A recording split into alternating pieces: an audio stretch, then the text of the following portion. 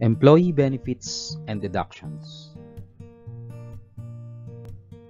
What are employee benefits? So employee benefits include different kinds of non-wage compensation given to employees in addition to their regular wages or salaries.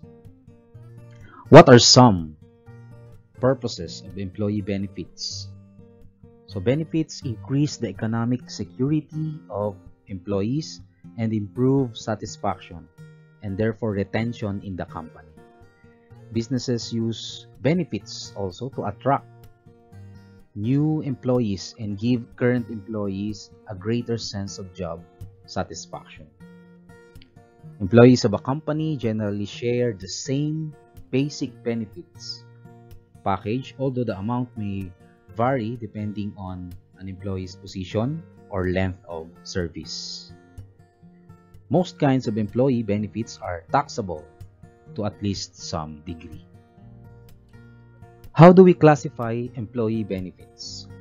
Employee benefits can be classified as either those which the employer must provide by law, so they are called government mandated benefits, or those which the employer offers as an option to compensate employees, or what we call company initiated benefits. These basic employee benefits cover most occupations, agricultural, agricultural or non-agricultural. Okay, so let's talk about government mandated benefits. These benefits are classified into two, institutional and personal or individual. So for institutional, we have SSS here in the Philippine Social Security System. So the SSS was created to provide private employees and their families protection against sickness, disability, and death. Now for the GSIS or Government Service Insurance System, the GSIS is an equivalent system for government employees. So for private, we have SSS and then for government, we have GSIS. Next, PhilHealth or Philippine Health Insurance Corporation. So PhilHealth is administered by Philippine National Health Corporation which is designed to provide employees with a practical means of paying for adequate medical care in the Philippines. Okay, next, we have Pag-ibig Fund. So it's a Provident Savings System providing housing loans to private and government employees and to self-employed persons who choose to join. Employers are required to contribute on behalf of their employees. So in Pag-ibig Fund to this fund. Okay? Next, we have personal or individual government mandated benefits. So number one, we have 13th month pay. So all Filipino employees are entitled to a year-end bonus equivalent to one month salary regardless of the nature of their employment. The 13th month pay is to be given no later than December 24 of every year a worker is employed. So that's for 13th month pay an example of personal government mandated benefit. Paternity leave. So what is this paternity leave? All legally married male employees are eligible for 7 working days. Up to 4 childbirth or miscarriage of legitimate spouse to be availed within 60 days from delivery or miscarriage. So that's for paternity leave. So that's an example of personal government mandated benefit. Next, we have solo parent leave.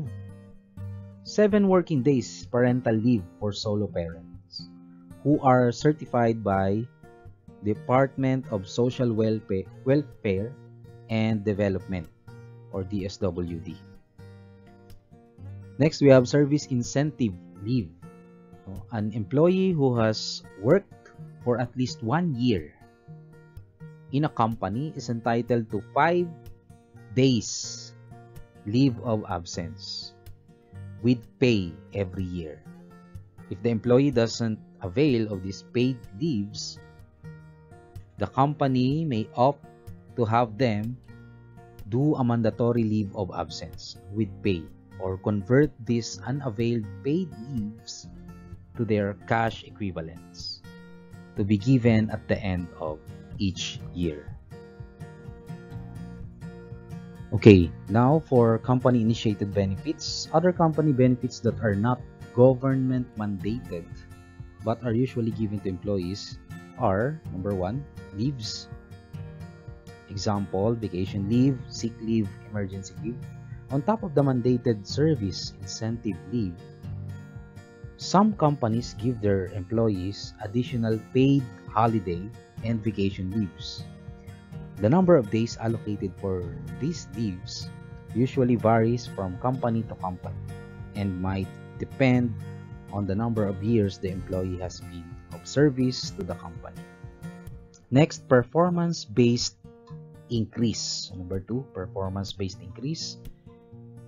This is given based on how well the employee works. Number three, bonuses. We have quarterly and mid-year.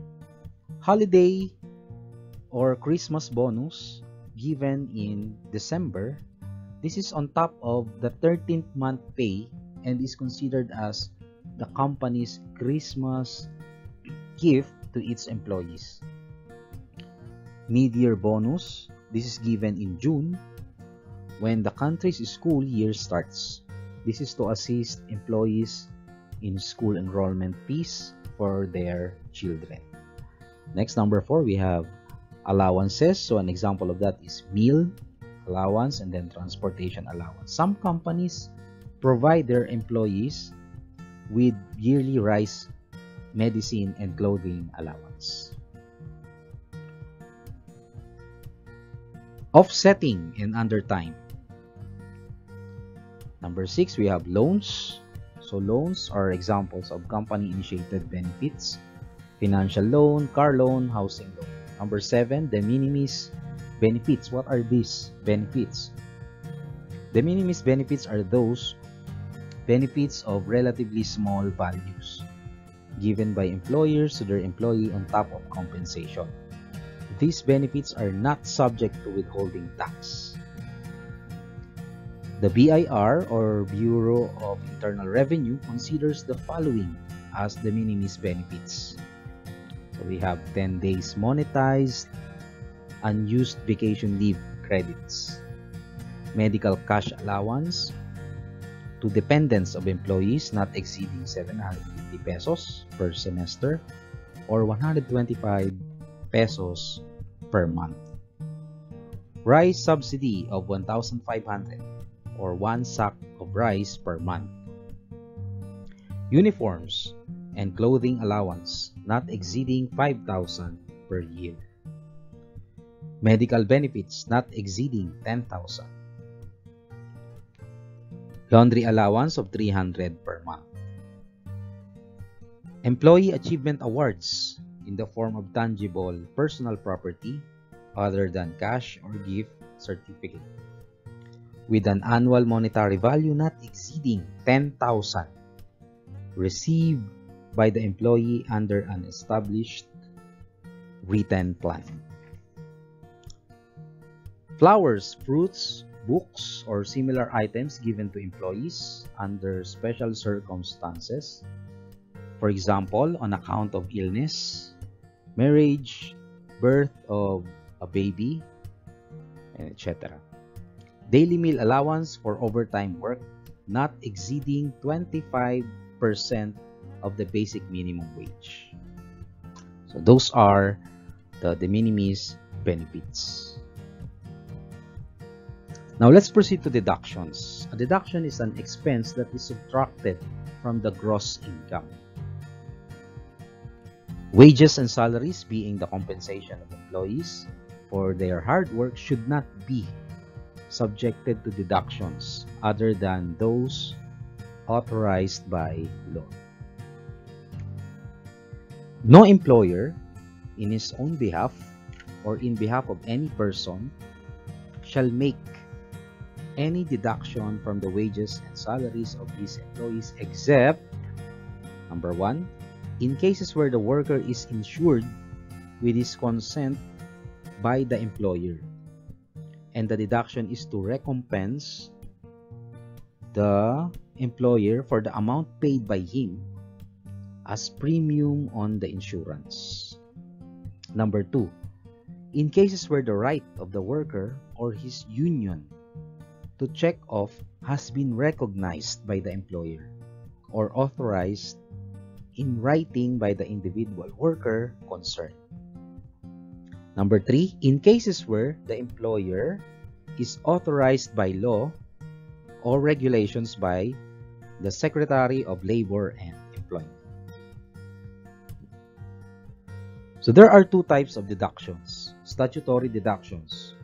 Employers are required by law to compute and deduct amounts from the employee's gross salary on behalf of the government.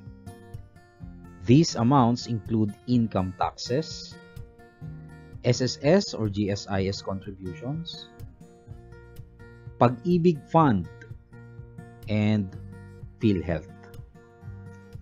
Next, voluntary deductions. These are deductions taken out of the employee's gross pay based on requests made by the employees themselves.